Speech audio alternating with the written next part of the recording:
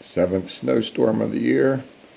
Another eight to ten inches last night, a little lull in the storm, and then another one coming in this afternoon. The dog made it out there. Last year's Christmas tree. What is Calypso doing out there?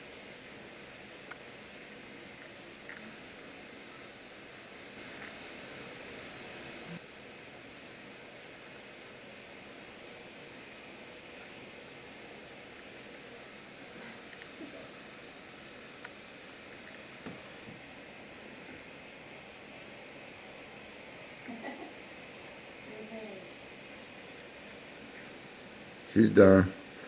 That was it. That was it.